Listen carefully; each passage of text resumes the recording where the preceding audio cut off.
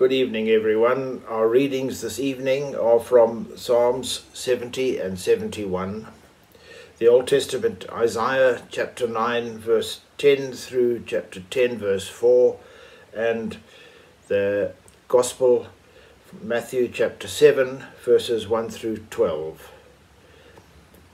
O God, make speed to save us. Lord, make haste to help us. Your faithful servants bless you. as They make known the glory of your kingdom.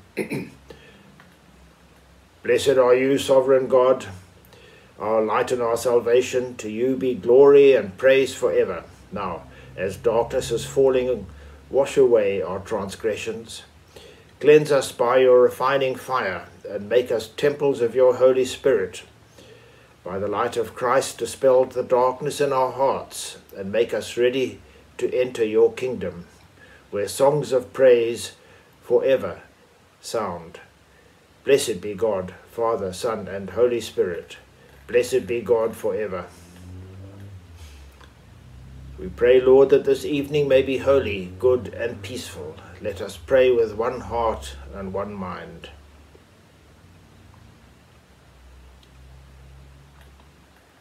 And as our evening prayer rises before you, O God, so may your mercy come down upon us to cleanse our hearts and set us free to sing your praise for ever and ever. Amen. And we read Psalm 70. O God, make speed to save me. O Lord, make haste to help me. Let those who seek my life be put to shame and confusion. Let them be turned back and disgraced who wish me evil. Let those who mock and deride me turn back because of their shame. Come to me quickly, O God. But let all who seek you rejoice and be glad in you. Let those who love your salvation say always, Great is the Lord. As for me, I am poor and needy. Come to me quickly, O God. You are my help and my deliverer. O Lord, do not delay. And a brief prayer, O God, our help and defender, deliver us in our weakness, answer our longings, and vindicate our faith, that we may see your glory in Jesus Christ our Lord.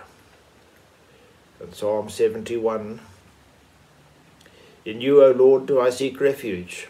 Let me never be put to shame. In your righteousness, deliver me and set me free. Incline your ear to me and save me. Be for me a stronghold to which I may ever resort. Send out to save me, for you are my rock and my fortress. Deliver me, O my God, from the hand of the wicked, from the grasp of the evildoer and the oppressor. For you are my hope, O Lord God, my confidence, even in my youth. Upon you I have lent from my birth. When you drew me from my mother's womb, my praise shall always be to you. O God, be not far from me. I have become a portent to many, but you are my refuge and my strength. Let my mouth be full of your praise, for your glory all day long. Do not cast me away in the time of old age. Forsake me not when my strength fails. For my enemies are talking against me, and those who lie in wait for my life take counsel together. They say, God has forsaken him. Pursue him and take him, because there is none to deliver him. O God, be not far from me. Come quickly to help me, O God. Let those who are against me be put to shame and disgrace. Let those who seek to do me evil be covered with scorn and reproach. O God, be, be not far from me. But as for me, I will hope continually and will praise you more and more. My mouth shall tell of your righteousness and salvation all day long, for I know no end of the telling. I will begin with mighty works of the Lord God, and I will recall your righteousness, yours alone. O God, be not far from me. O God, you have taught me since I was young, and to this day I tell of your wonderful works. Forsake me not, O God, when I am old and grey headed. Your righteousness, O God, reaches uh, to the heavens. In the great things you have done, who is like you, O God? What troubles and adversities you have shown me, and yet you will turn and refresh me and bring me from the deep of the earth again. Increase my honour, turn again and comfort me. O God, be not far from me. Therefore I will praise you upon the harp for your faithfulness, O God. I will sing to you with the lyre, O Holy One of Israel. My lips will sing out as I play to you, and so will my soul which you have redeemed. My tongue also will tell of your righteousness all day long, for they shall be shamed and disgraced who sought to do me evil. Faithful Lord, living Saviour, in youth and old age, from the womb to the grave, May we know your protection and proclaim your great salvation to the glory of God the Father. Glory be to the Father, and to the Son, and to the Holy Spirit, as it was in the beginning, is now, and shall be for ever. Amen. And our Old Testament reading is from Isaiah chapter 9, verse 8 to chapter 10, verse 4.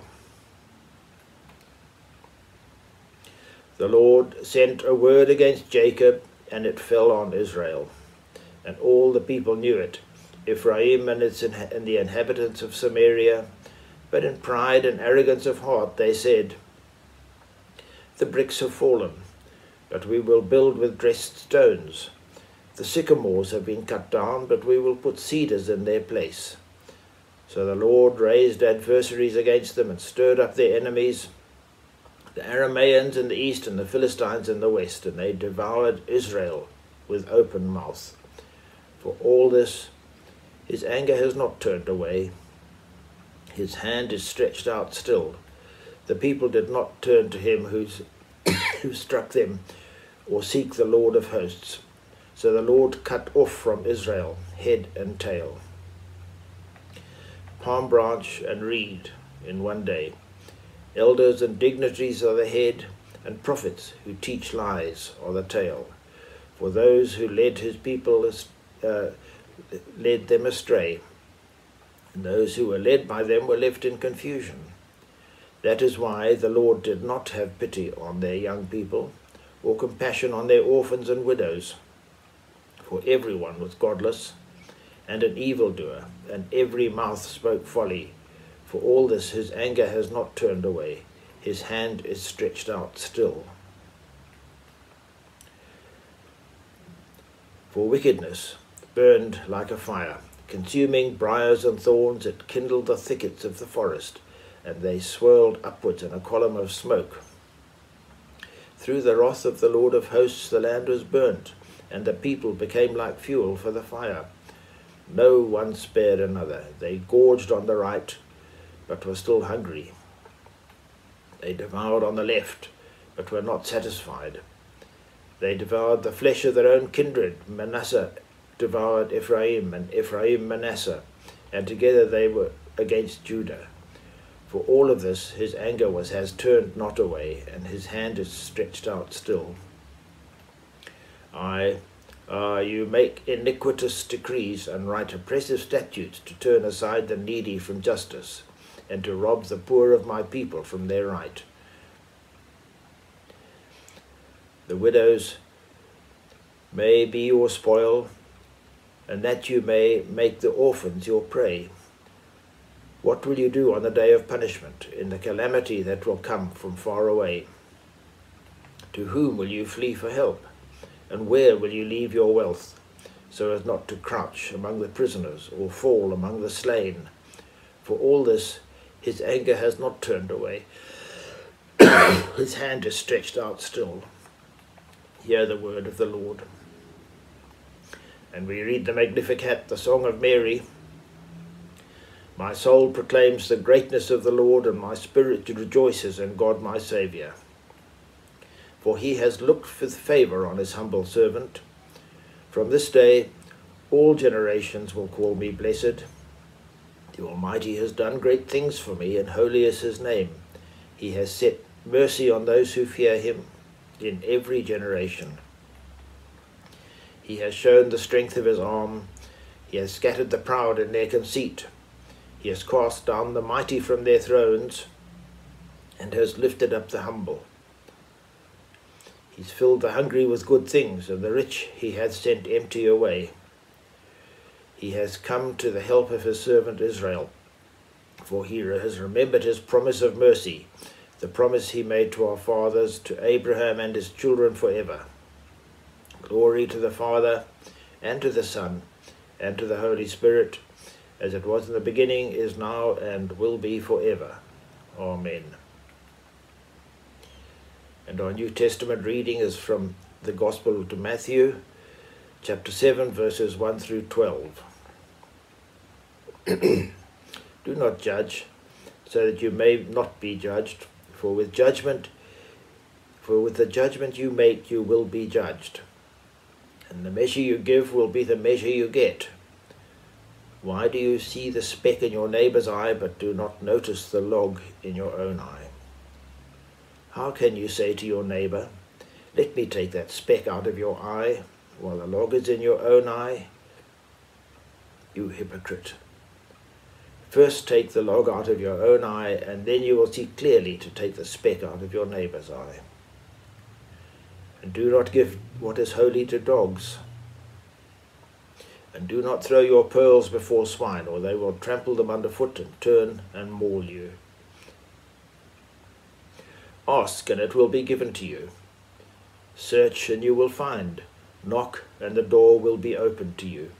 For everyone who asks receives, and everyone who searches finds. And for everyone who knocks, the door will be opened. Is there anyone among you, if your child asks for bread, will you give him a stone? Or if your child asks for a fish, will you give him a snake?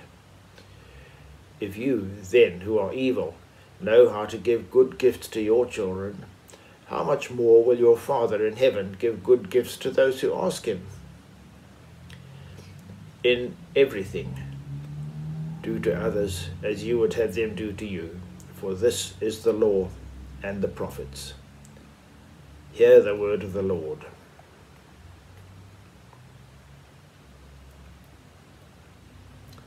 Now may the words of my mouth and the meditation of all our hearts be acceptable in your sight, O Lord, my rock and my redeemer.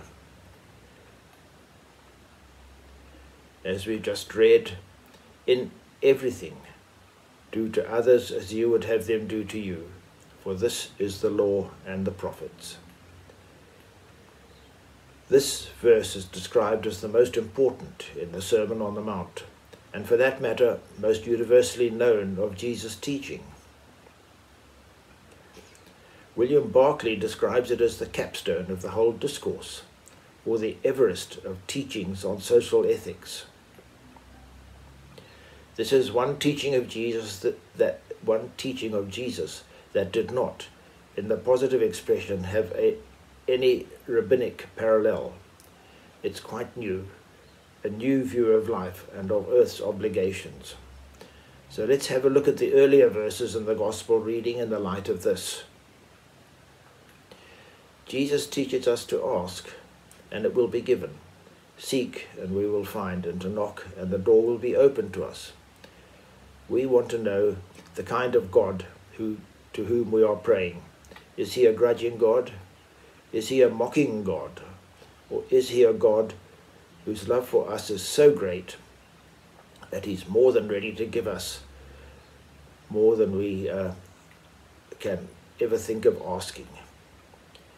He backs up this statement with examples. What father is there who, if his son asks for bread, will give him a stone, or asks for a fish, will give him a snake, or for an egg, will give him a scorpion? We will give good things to our children we can expect even better gifts from our Heavenly Father.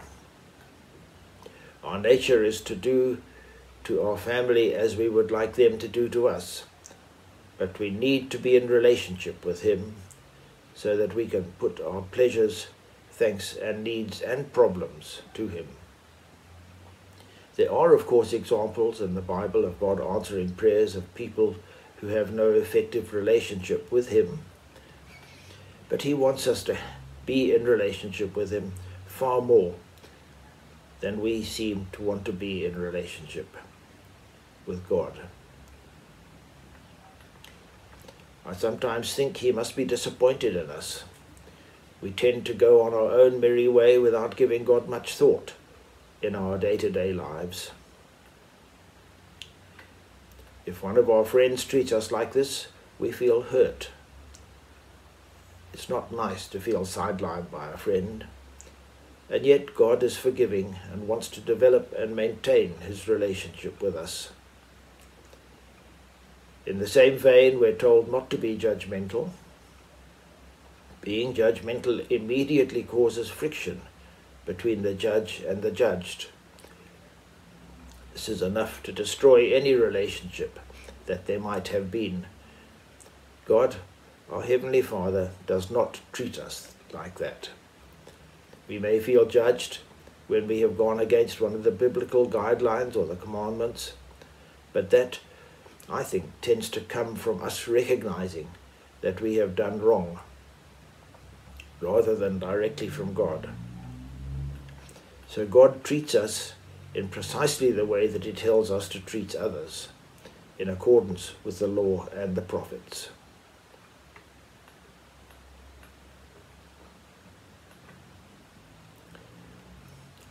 We say the baptismal creed together.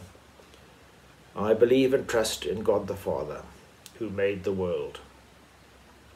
I believe and trust in his Son Jesus Christ, who redeemed humankind I believe and trust in His Holy Spirit, who gives life to the people of God.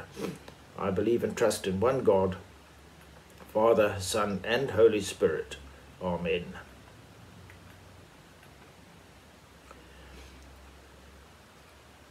Lord, we give you thanks for all that's gone through today. We praise you for your loving uh, presence with us. We ask you to give us grace to follow your example. And we pray for peace in this land. We pray that you will be able to guide all our leaders in the decisions they make and that they will make them in accordance with your will, your treating others as they would be treated themselves. We pray for those who are sick we pray that your healing hand will be on them.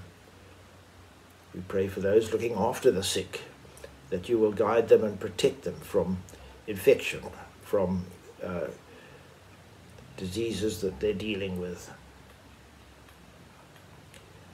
And we pray, Lord, that people will hear and believe, will have the opportunity to hear your word, and that they will accept it and believe it.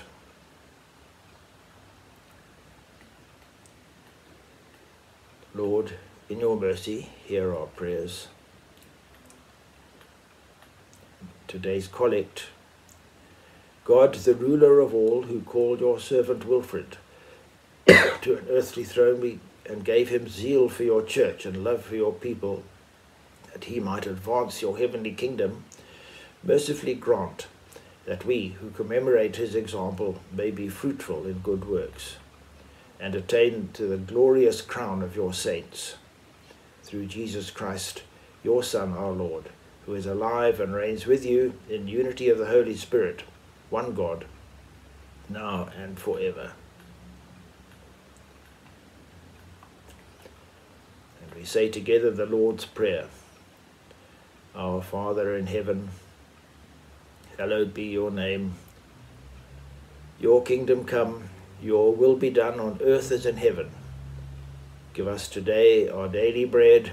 Forgive us our sins, as we forgive those who sin against us. And lead us not into temptation, but deliver us from evil. For the kingdom, the power, and the glory are yours now and forever. Amen. And may the Christ, who has opened the kingdom of heaven, bring us to reign with him in glory. Amen. So may the Lord bless us and keep us. The Lord make his face to shine on us and be gracious to us. And the Lord look kindly on us and give us his peace. So let us bless the Lord. Thanks be to God.